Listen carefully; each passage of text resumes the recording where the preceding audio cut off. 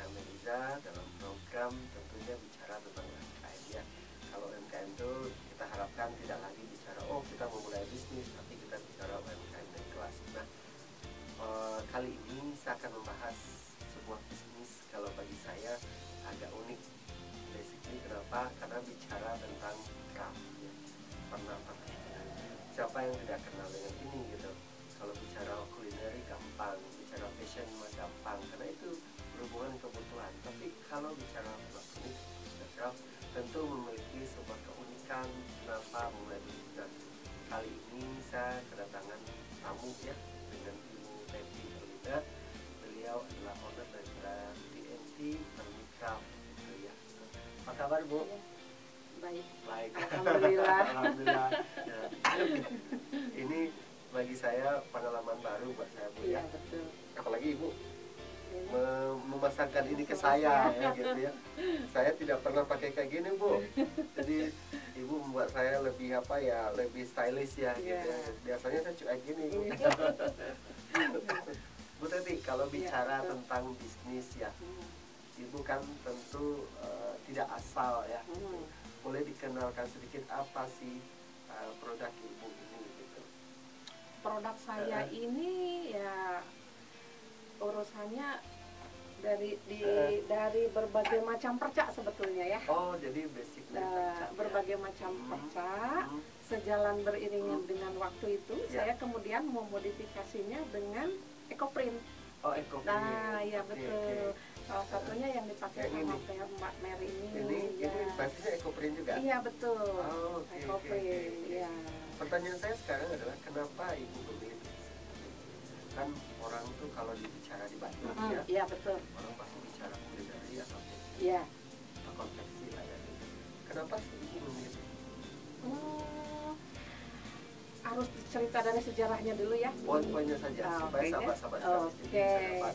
Karena eh, di pernikah yang itu luas ya pak ya.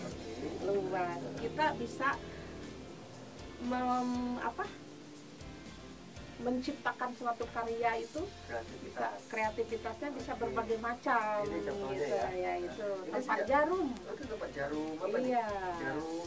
jarum jahit jarum Oh, pentul oke. kayak Jadi, gitu Buat ya sahabat-sahabat nih yang perempuan iya biasanya kan pakai kerudung ya pakai hijab ya kan eh, butuh pentul kadang-kadang mukanya di mana ya? ya oke. Biar nggak keicek lah kena tangan lah gitu. Betul, oke.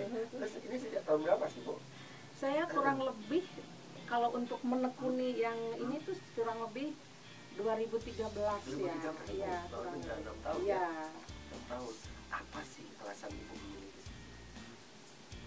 orang itu eh, membutuhkan yang aneh kalau menurut saya itu ya kadang Oke. ya kadang yang tidak terpikirkan sama Oke. orang itu saya terpikirkan kayak contohnya misalnya ini ya nah orang berpikirnya ini kayak cincin gitu Iya, ya betul. tapi ini sebetulnya bi- bukan ini tak bilang ini kayak sorodot cinta gitu ya cinta kerudung dimasukin ke Oh, dalam biar nggak berantakan Oke, nah oke, gitu.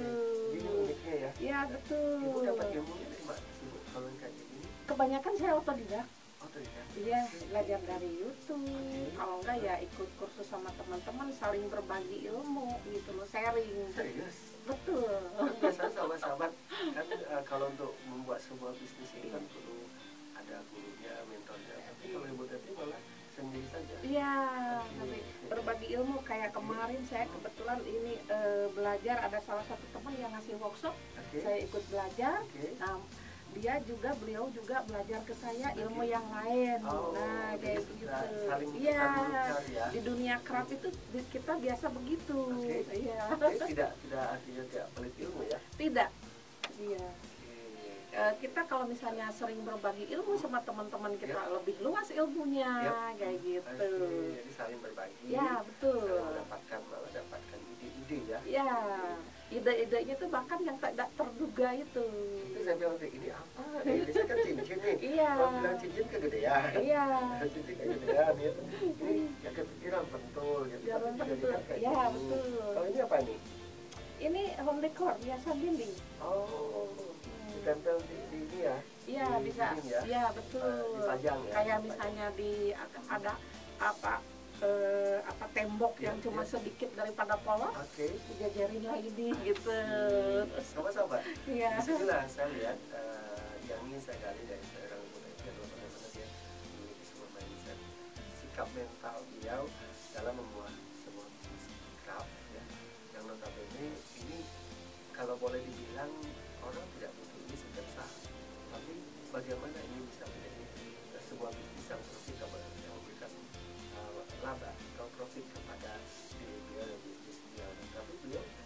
berani masuk ke situ apa kuncinya ada beberapa poin tadi yang saya dapatkan satu adalah beliau punya ide ya ide kreativitas beliau ibu kalau sering-sering baca buku atau YouTube itu terjadwal atau gimana bu? Tidak terjadwal, di waktu senggang aja. Waktu senggang Iya, aja. iya, Jadi di waktu ibu senggang. dapat ide di situ. Iya betul. Apa yang paling menarik buat ibu ketika lihat di YouTube itu?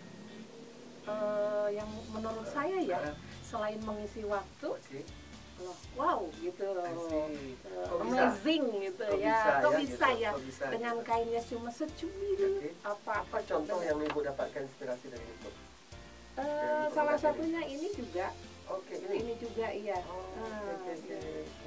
Hmm. Ini kan sederhana sebenarnya bu Ya ya. betul. Sederhana. Ini kan kayak alat seperti apa ini untuk Talenan di dapur. di dapur. Iya Ya, betul. ya. Lalu ibu bikin ini ya Iya. dari kain. Ah, Ini tempel. betul ditempel ya. Oke. Ini nggak ada jahitan sama sekali kalau ini. Kalau kayak eh, masang puzzle ya. iya betul sekali. Puzzle ya. Hmm, Jadi Cuma dikasih lem. Ya betul. Iya. Tapi kan desainnya kan menarik nih. Iya. Ada home ya, rumah Iya. ya, rumah kayak gitu. Nah, bu, kan orang tuh bicara bisnis itu ada yang bilang bakatku butuh apa Hmm. Saya impian saya itu ingin berbagi ilmu bersama ibu-ibu yang lain sih sebetulnya ya. Iya. sisi sosialnya Ya ya, betul. jadi sosialpreneur gitu. Jadi ke depannya ibu tetap terus mengembang kreativitas, betul. belajar gitu ya, dan berbagi ilmu dengan Dengan ibu-ibu yang lain yang mereka perlu oke, ilmu yang saya punya oke, gitu. oke, oke, dan ibu terus belajar ya. Iya betul. Oke, oke. Sama sahabat, kalau kalau bicara menjadi seorang entrepreneur, ini yang paling penting sekali yaitu yang namanya mindset. Mindset itu pola pikir yang berbagai di sebuah sikap mental. Sikap mental dimiliki oleh seorang MT dengan bisnis beliau namanya TNT Panitra menunjukkan bahwa beliau selalu punya impian bagaimana dia berbagi. Karena dalam proses bisnis memang ini yang berbagi yang penting. Jangan hanya berharap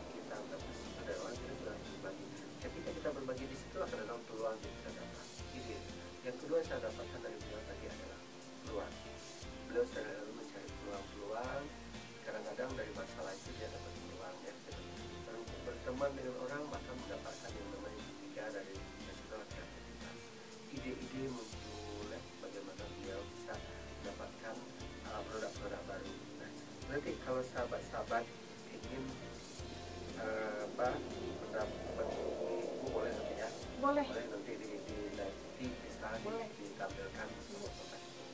Baik sahabat-sahabat itu dulu uh, bahasan kita tentang mindset dan entrepreneurship yang dimiliki oleh seorang tadi owner daripada TNT Craft.